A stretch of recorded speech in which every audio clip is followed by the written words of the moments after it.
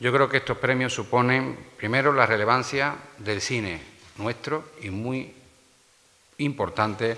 poner en valor el prestigio que se merece el cine de lo nuestro. El andaluz siempre es muy dado a reconocer lo de fuera y no reparar en lo suyo, en su hijo, en su hija y en su talento. Yo desde la Diputación quiero quedar y quiero decir que vamos a apoyar, es incontestable, incontestable la apuesta que va a hacer la Diputación por esta feria del cine, por esta fiesta del cine andaluz y, por supuesto, por lo que supone también la atención al sector audiovisual. Estamos hablando de muchos recursos, mucha industria, mucho empleo, que no tiene que envidiar a otras comunidades autónomas ni tiene que envidiar ni a ningún otro país en Europa. Creo que tenemos el talento suficiente, igual lo que necesitan es más medios, igual lo que necesitan son más oportunidades, igual lo que necesitan es que lo público esté más pendiente de ese talento para intentar que, como en otros lugares, tengan los mismos resortes, las mismas herramientas para poder sacar adelante todo lo que llevan dentro. Por eso, con mucho orgullo, tenemos que sentirnos hoy muy contentos en Córdoba de tener, como decía antes Marta, la fiesta del cine andaluz, la fiesta del cine de los nuestros, el talento andaluz por excelencia. Por eso yo creo que hace muy bien la Academia en poner en valor estos premios, hace muy bien la Academia y Andalucía en reconocer el valor de lo suyo, el talento de lo suyo, porque así se empieza a agrandar la figura y el talento de los que tienen algo que otros no tienen, ese duende que tiene el artista y que muchas veces Andalucía pues,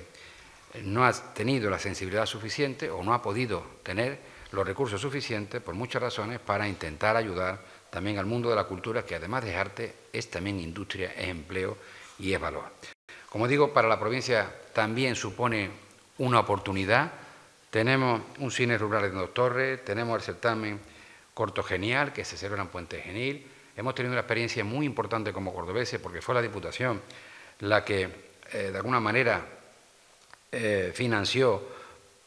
Iberia Naturaleza Infinita, que también se vio en Huelva el año pasado, y para nosotros supone, como digo, un orgullo. Cosas como esa, ayudas como esa, tenemos experiencia ahora mismo lo comentaba antes Marta, en la provincia de Córdoba, de gente que viene empujando muy joven, que está haciendo cosas muy interesantes en el mundo del cine y solo necesitan un empujón, un empujón para, como bien decía Marta, ponerlo en el escaparate. Y una vez que tengan esa oportunidad de tener y que se les vea de ese escaparate, yo creo que estaremos todos muy contentos de que tengan esa oportunidad para, como digo, ser un referente a nivel mundial. Los andaluces no somos menos que nadie, tenemos mucho más talento que lo que la gente se cree. Otra cosa es que tengan las mismas herramientas que otros territorios para poner lo andaluz en el sitio que se merece. Acabo como empecé, nuestra incontestable ayuda y apoyo al cine andaluz. Enhorabuena Marta, a ti, a la Academia y a los que habéis hecho posible que el cine andaluz se vea, se visualice, se valore, pero también eh, se ponga en su lugar.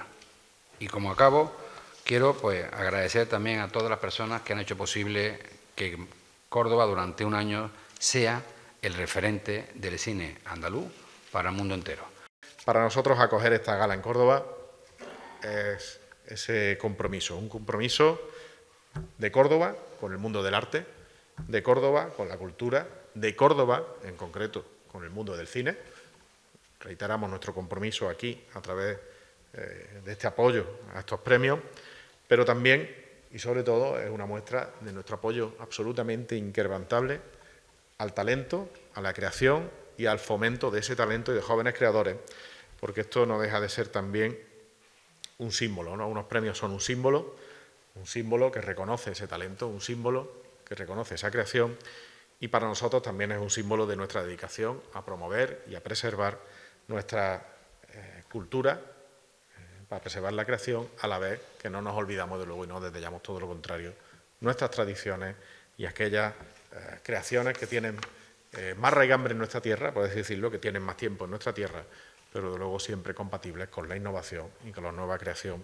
que, insisto, es tan, tan, tan importante para que, igual que nosotros nos hemos encontrado con un legado artístico y cultural, las futuras generaciones se lo sigan encontrando, porque las actuales aportemos también a esa creación que siempre ha habido en nuestra tierra, en Córdoba y en Andalucía. Eh, empezamos en Málaga, continuamos en Almería, el año pasado estuvimos en Huelva y este año pues a mí me da muchísimo orgullo decir estamos en Córdoba. Estamos en una tierra de talentos, en una tierra donde hay una industria incalculable y una, vamos, pues, decir, tengo muchísimos amigos y amigas del cine pues, que, son de esta tierra y que están también hoy están muy emocionados, me han mandado mensajes, me han mandado eh, muchísimas felicitaciones y transmitir sobre todo su emoción y su orgullo.